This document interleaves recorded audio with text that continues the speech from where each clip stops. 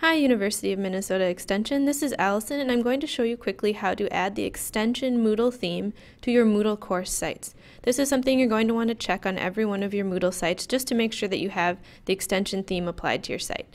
So if you go into a Moodle site that you own and have a look at the top, if you see a banner image like this, um, that is the General University theme banner, and you're going to want to actually change it to apply the extension branded theme. It's pretty simple. All you do is head over to Edit Settings. And in here you're looking for a setting called Appearance.